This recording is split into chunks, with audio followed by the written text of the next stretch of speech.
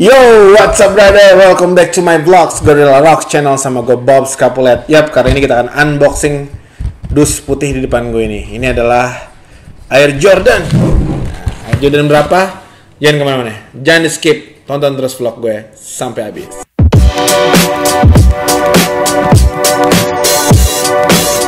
Yap, seperti yang gue bilang tadi, kita akan unboxing kardus putih ini. Nah, sekarang lo bisa lihat, ini adalah sekotak Air Jordan.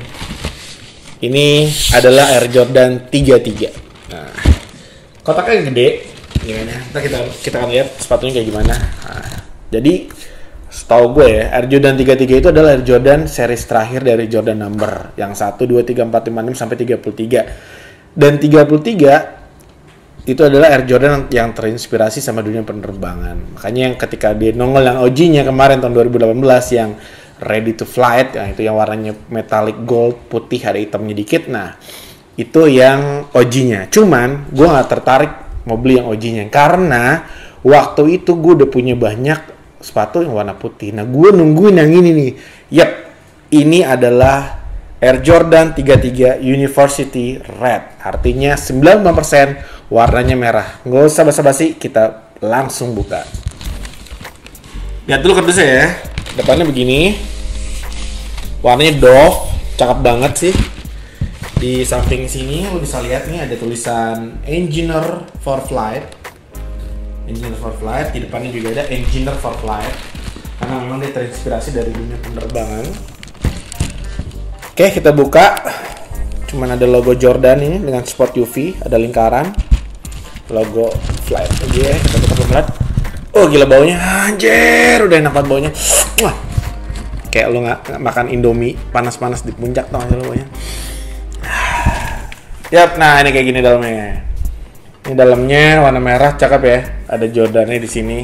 Merah ada Jordan di sini. Yap, ini adalah University Red, artinya dia totally warna merahnya 95%. Taruh sini dulu ya. Wih, lihat dong. Warnanya silver, dia kayak plastik gitu, kayak yang buat manasin kue. Kalau biasanya pakai kertas, Jordan 33 tuh pakai ini. Silver, di sini tulisannya AJXXX123, artinya bahasa Romawinya 33. Gue baca kebalik ya. Design and engineered of the exact specification for flight. Yap, nah dia nih. Ah, ini ada ininya nih. Ini ada kayak selembar petunjuk penggunaan. Di Jordan Jordan sebelumnya nggak ada yang pakai petunjuk penggunaan, tapi pernah gue di Jordan Gwen 3 Level 5, gue pernah buka yang ada sertifikatnya yang uh, Jordan Gwen 3 Level 5. Tapi yang ini dia ada ininya nih. Jadi kayak ini kan buat uh, laces sistemnya ya, buat ngencenginnya. Ini ada ginian nih. Ada giniannya. Ada giniannya nih. Cuma kartu gini doang. Gak ada apa-apa lagi. Oh my god, baunya baunya bau karet men. Yang pasti baunya nggak nggak bau ngelem-ngelem bikin mabok nih baunya. Aduh hai. Yap kita lihat. Ah ini dia sneakersnya. Seperti yang gue bilang, University Red tuh banyak merahnya. Kalau lu bilang ini bread bread tuh banyak hitamnya, uh, black and red tapi ini lebih banyak merahnya. Jadi mungkin dibilangnya University Red. Kayak gini nih. Ini sebelah kanan ya. Nah ini sebelah kirinya nggak ada apa-apa lagi. Kosong, kosong ya, kosong ya. Pada isinya siapa ya? Nah, masukin. Kotaknya nggak ada apa-apa lagi, cuma ada tulisan ini. Terusin dulu. Oke, kita pantengin. Ini dia sneakersnya. Sneakers ini dijual uh, sekitar 175 dolar US atau kalau di Indonesia itu sekitar 2,9 juta sekian sekian, hampir 3 juta kurang cobaan kalau nggak salah ya. Dan dia itu sudah kalau nggak salah udah ada sih di beberapa sneaker store di Indonesia ya. Lo bisa dapetin ini. Ini tuh rilisnya baru 2019, kalau nggak salah pertengahan Januari deh, dia rilisnya. Dan gue dapetnya sekarang Februari karena baru sempat uh, belinya sekarang. Ini ada ganjalannya, dalamnya ada lagi, ada lagi, dia ada logo Flight Jordan-nya. Yap, ini dia sepatunya. Ini sneakersnya. seperti yang lo lihat nih kalau lihat ini eh, agak complicated ya bahannya agak banyak nggak cuman biasanya bahannya mesh apa apa ini campurnya ada ada sedikit mesh di sini ada eh, kayak apa namanya kulit nggak tahu nih kulit asli atau bukan. Baunya sih bau sintetis ya. Bau kulitnya terus di sini nih yang hitam ini nih. Ini sebenarnya motifnya menyerupai kayak elephant print itu ya tapi ini lebih kayak uh, gloss gloss gitu. Nah kayak gini nih kalau lo lihat nih. Nah, bawahnya bawahnya begini nih. Jadi dia cuman uh, transparan karena warna merah jadi kata merah. Terus sini ada kayak logo Jordan ini tuh kalau lo tarik tarik gini dia bakal muter nih karena lacing sistemnya ya kan? lo lihat nih ini pull ini buat narik Nah ini buat kalau buat lepas ejectnya tuh di sini tulisan eject. Ini kalau lihat tulisan eject di sini eject. Fokus eject. Segini ya kali ya. Eject. Nah lihatnya tulisan ejectnya. Tarik. Oke.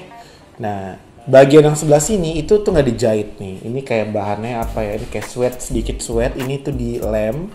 Nah ini dijahit baru yang bagi dan keren ini di sini tuh dia punya jahitan kayak apa ya? Jahitan tuh XXXXX semua sini nih. Kalau dilihat dari deket tuh XXX nah bagian belakangnya detail belakang ini kayak sofa. Kayak apa namanya? Kayak kue wajik. Nike Air. Nah yang gue masih bingung ada yang tahu nggak? Ini garis-garis ini maksudnya apa kalau ada yang tahu komen ya gue nggak tahu nih ini garis-garis ini maksudnya apa gue nggak tahu. Kayak ada mungkin maksudnya tiga tiga ya. Satu dua tiga satu dua tiga kali mungkin ya segini kali ini tiga tiga kali. Bener nggak? Gua nggak tahu nih. Nih garis ini maksudnya apa? Entah tiga tiga atau apa. Nah di dalamnya kalau lo lihat nih ada tulisannya Air Jordan XXX AJ ini adalah Air Jordan XXX Air Jordan yang bisa lihat Air Jordan depannya ada logo ini. Dan ini ajib banget.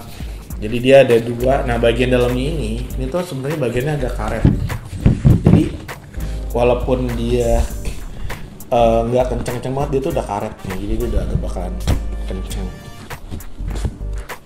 Di sisi sebelah kiri dalam ini ada velcro.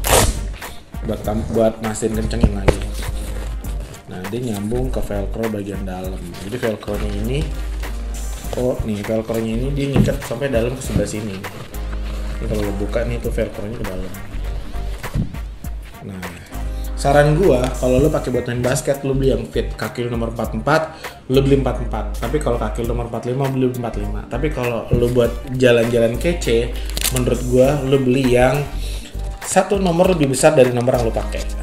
Atau kalau lo dapet ukuran spesial misalnya 4 5,5 atau 4 4 setengah itu jarang tapi kalau bisa dapet ukuran itu tuh bagus lebih enak lebih gede sedikit lebih bagus Nah, ini nih yang nggak enak nih ya. Ini sih, ini sih gue belum pakai nih. Tapi menurut pendapat gue, dia akan ada masalah nih kalau gimana nih talinya nih lacing, lacing sistemnya ini putus.